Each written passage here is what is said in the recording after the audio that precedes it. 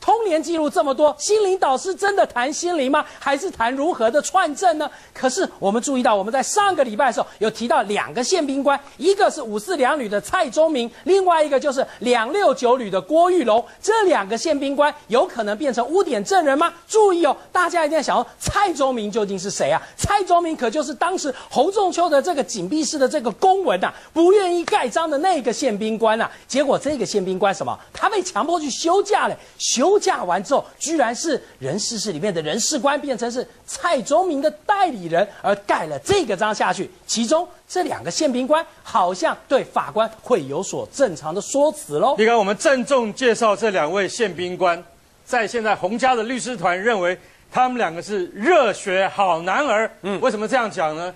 因为整个送洪仲秋去紧闭的流程之中，只有这两名中尉仗义直言，不愿意，因为他们认为这个根本不符程序，也不符合比例原则，力挽狂澜。虽然最后功败垂成，但是现在我们就要郑重跟各位观众介绍蔡宗明五四二旅的宪兵官，也就是所有禁闭流程都要经过他手上。郭玉龙二六九旅的宪兵官也要经过他手上。紧闭室是他管的，对他们都熟悉这个业务，他们不愿意关，就是告诉你说这是违法的，公文有问题，公文根本过不了关。好，你们两个啰嗦啰嗦，我告诉你，蔡宗明。竟然被记大过，调马祖？什么？调到马祖去了？军方在这个案子爆发的时候，因为你们都是当事人哦，虽然你们都把他调到外岛，让你军检连找都找不到人。郭玉龙不但记两个小过，面临七年以上的刑期，现在已经被起诉了。嗯，请问一下，当当年是他们两个反对的，六月的时候他们反对，现在这两个都受到惩处。天下还有公理吗？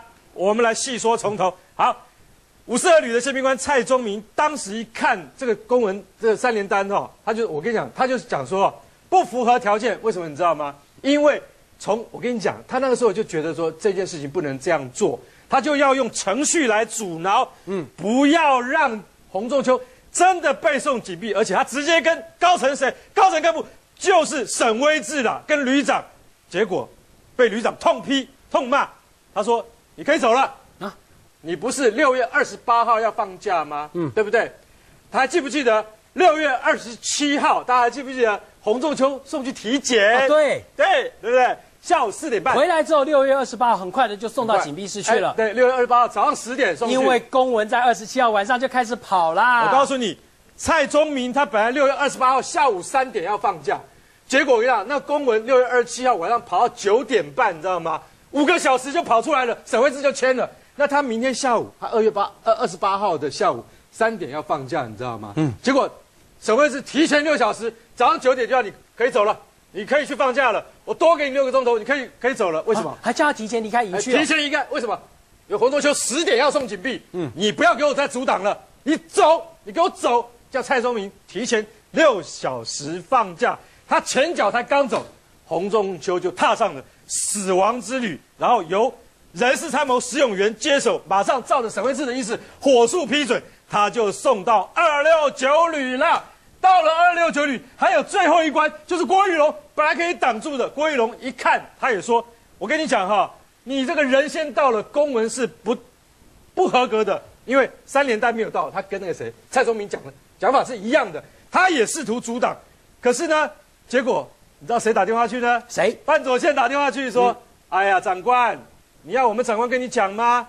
还是你现在要怎么样？不收吗？”范左宪语带恐吓啊，语带威胁啊。嗯，他说：“你们不照公文流程走？我跟你讲会出事情。”可是他碍于五四二旅跟二六九旅的长官，他没有办法，还是只能够把这个案子给收，把人收了。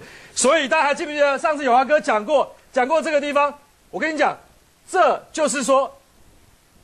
他当时就马上就抛文说什么，就是反正明天就是要看到你的东西，然后呢，这东西要用到的时候是你的，出了就是我二六九旅，他指的是谁？你是谁？指的是就是长官。嗯，出了事就是二六九旅，二六九旅会会得会获得惩处。然后我干嘛还要保护你？我干嘛还要保护你？你给我小过，我就要看你比我更重的惩处，就是说我要看你长官得到比我更重。他当时就已经抛这个大家看不懂的东西，现在大家终于看懂了。我跟你讲，立刚其实他不适用于证人保护法，为什么？因为他本来有意要转为污点证人，可是因为他跟蔡明忠，呃，蔡宗明跟郭玉龙两个人都是这个案件的当事人，依法不可以转为污点证人。嗯，但是他跟蔡宗明两位宪兵官是曾经试图力挽狂澜的人，但是今天他们两个都可以怎么样？就是说他是没有被羁押，蔡宗明也在外岛，可是这两个人如果乱讲话，是不是有生命威胁呢？所以现在陶检一定要尽力保护他们的人身安全，毕竟他们两个都说了实话。